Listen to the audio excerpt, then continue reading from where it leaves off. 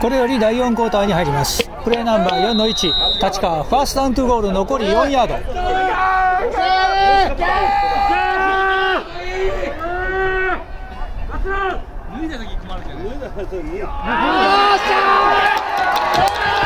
チダウン。